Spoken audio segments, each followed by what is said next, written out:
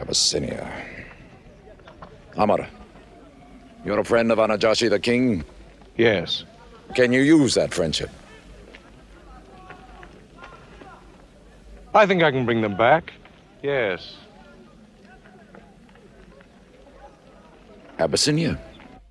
Rise up, Amr. There is nothing you may ask for that we will not give. Lion of Judah, I. I don't know where to begin. You have our friendship. Begin there. Certain runaway slaves have escaped from us into your kingdom. Slaves go back, as you would return our slaves to us. There are, however, some free men among them. Rebels? There's disturbance in Arabia, why am I not informed? They are rebels in religion. At one time or another, all religions were rebellions.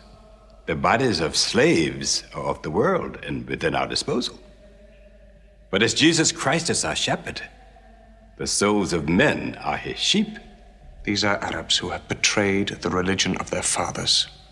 They follow a lunatic they call a prophet. But I cannot put souls into chains without hearing them.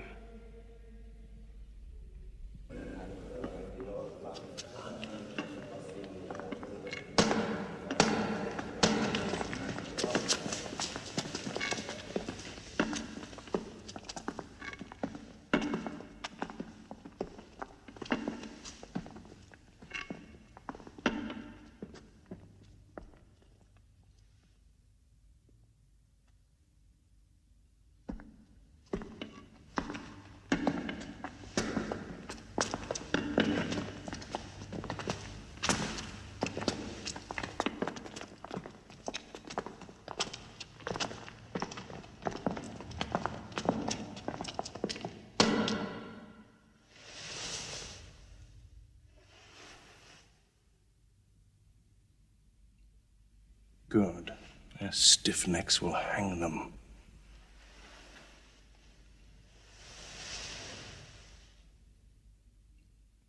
Do you not bow yourselves before your prophet? Muhammad is a man. We kneel only to God. Where are Mohammed's miracles, Jafar? If he were a prophet, he'd light the sky with miracles. Indeed, this is true. God has given his prophets the sign of miracles that we may recognize them. The miracle of Muhammad is the Holy Quran. A book! A book! Written by an illiterate, attributed to God. I think the Emperor has heard enough. I'm mindful of Pentecost, when God sent down tongues of fire upon the heads of Christ's apostles, so they could speak the many languages of the world that they knew not before. But do such miracles happen in our times? I've heard enough. You've made a poor case.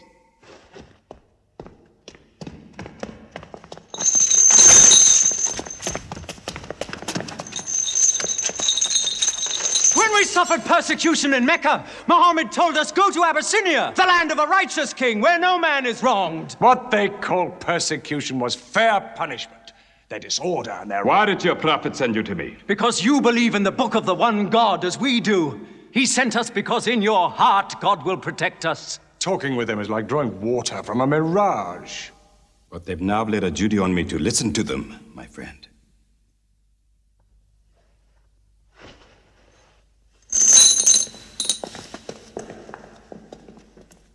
Go on.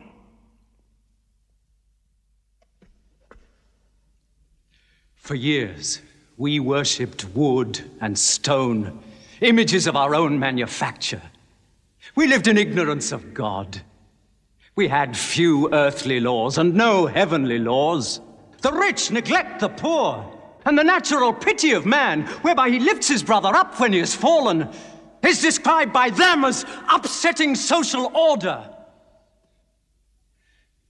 To this inhumanity has come a man whom God chose. And in that we believe.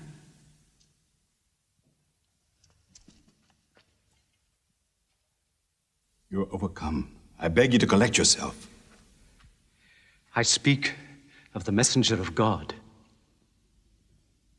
Mohammed teaches us to worship one God, to speak truth, to love our neighbors as ourselves, to give charity.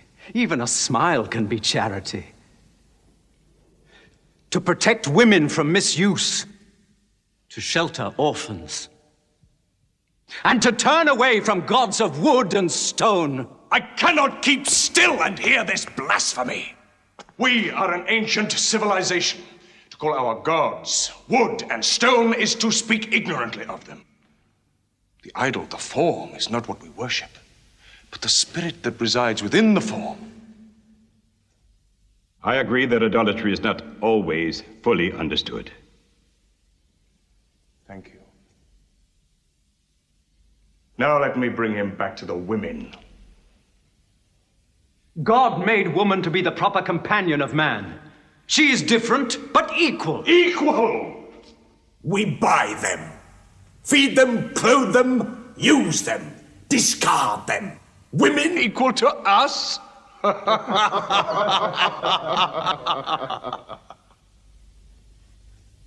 God created man from one male and one female. Amr, you must respect in all women the womb that bore you.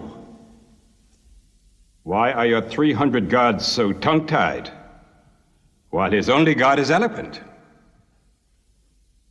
God has spoken to us before. Through Abraham, Noah, Moses, and through Jesus Christ.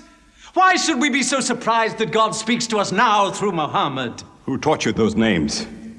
They are named in the Quran. I knew Mohammed when he was an orphan minding sheep. And we knew Christ as a carpenter. What Christ says and what your Muhammad says is like two rays from the same lamp. They are lying to you. They deny Christ. You worship three gods, they say Father, Son, and Holy Ghost, they say. What do you say of Christ? They say God cannot have a son. Christ is not the Son of God. Speak to me of Christ. We say of Christ what our prophet has taught us that God cast his Holy Spirit into the womb of a virgin named Mary, and that she conceived Christ, the apostle of God. The apostle, he says, not the Son, not the Son. What does your miracle, your Quran, say of the birth of our dear Lord Jesus Christ? May I relate the words? Come closer to me.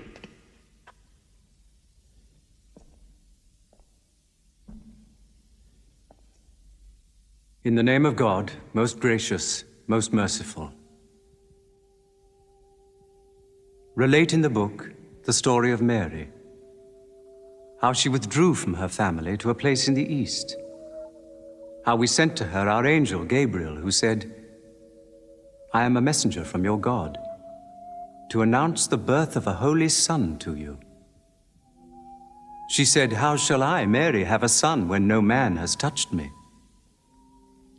And Gabriel replied, For your Lord says, It will happen. We appoint him as a sign unto man and a mercy from us. It is a thing ordained.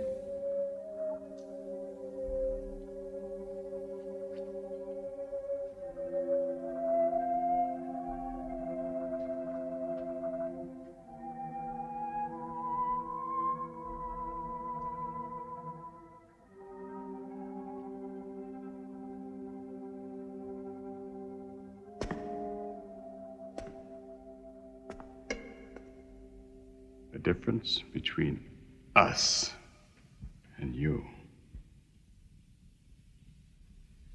is no thicker than this lie.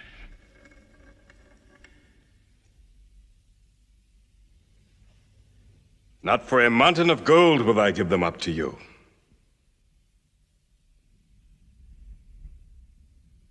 You may live in Abyssinia in peace for as long as you wish. May God's blessings be upon you on your return.